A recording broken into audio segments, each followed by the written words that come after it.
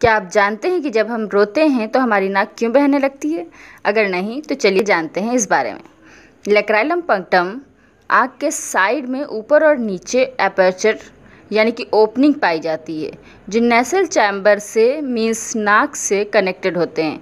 जब हम ज़्यादा रोते हैं तो आँसू की अधिक मात्रा आँखों में होने की वजह से ये लेक्राइलम पंक्टम के थ्रू हमारी नाक में भी चले जाते हैं। जिससे रोने पर रनिंग नोज़ की प्रॉब्लम होती है। मीन्स रोने पर नाक बहने लगती है।